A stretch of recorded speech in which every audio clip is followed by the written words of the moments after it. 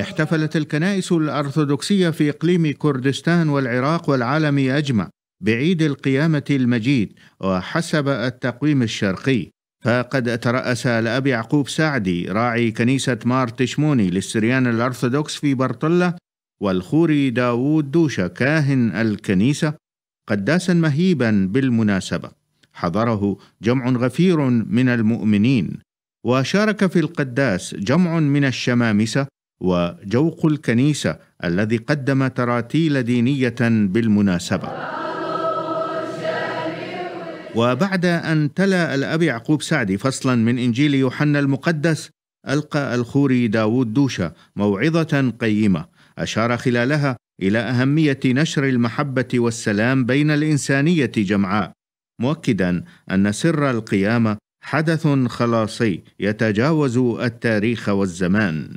هذا العيد الذي أعطانا الحياة من جديد الذي أعطانا الغلبة بربنا يسوع المسيح الذي داس الموت بموته وقام بالأموات. هذا العيد الذي هو العيد الرئيسي والأسمى في المسيحية. في هذا اليوم المبارك يوم قيامة ربنا يسوع المسيح من بين الأموات يشارك مجد السريان برطلة كنيسة برطلة للسريان الأرثوذكس بمناسبة استقبال تهاني المهنئين بهذه المناسبة المباركة.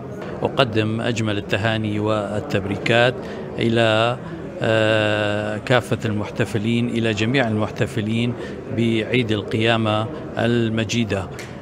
وبهذه المناسبة أيضا لا يسعني إلا أن أدعو أن آه، يعم الخير والسلام على المنطقة وعلى العراق والعالم جميعا. بمناسبة عيد القيامة المجيد أهنئ أبناء الشعب العراقي وخاصة المسيحيين بصورة خاصة بمناسبة بهذه المناسبة السعيدة راجيا من الله عز وجل أن يعم على العراق الخير والأمن والسلام.